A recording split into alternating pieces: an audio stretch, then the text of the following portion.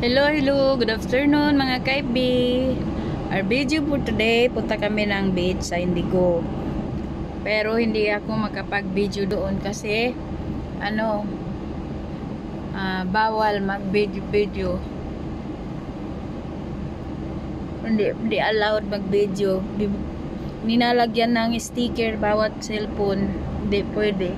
Pero pwede rin siguro sa sa bila namin sa loob ng bahay Dela. Maka-video o yan naglagay tayo ng sun sunscreen para para sunblock para hindi tayo mangitim masyado.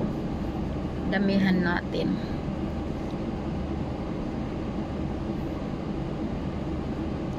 Pero na dumaan pa kami namili kami ng pagkain kasi wala kaming baon. So namili na lang kami ng albike para sa tanghalian namin.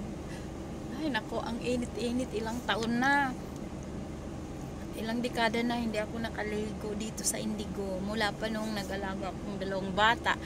Si yung panganay at saka yung second to the last. Yun ang inalagaan ko. Yun nagligo kami sa Indigo. So pagdating ng pandemic wala na. Ah, nakaligo lang kami nung last year doon sa dagat sa Paris sa Cannes yun lang. Oh ito na. Ang na naman. Oh kita kita tayo doon sa Indigo guys.